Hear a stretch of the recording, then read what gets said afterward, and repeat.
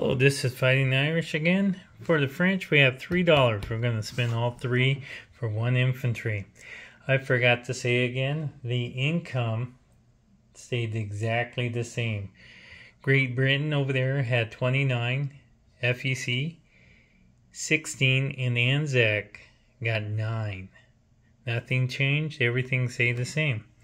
So let's see what we're going to do. We're going to move this transport from P50, go I-12 to I-7 right there.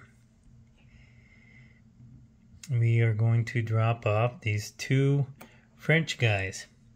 This one French is going to rail all the way over here to that um, place right there in Masha Sharita. Okay.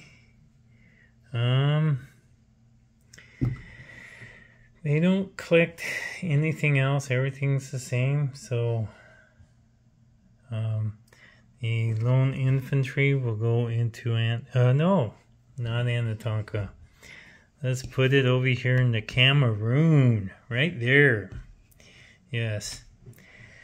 This is Operation Red Cloud, handing it over to Flak 88. Is he ready? Is he ready to come and help his comrades out? The fun loving. Then next to Paris, the French guys, but these are the Italians.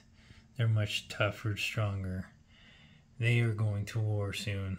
I hope not, but this is Fighting Irish handing over Flak 88 for the Italian turn. Uh, Operation Red Cloud. Thank you. Bye.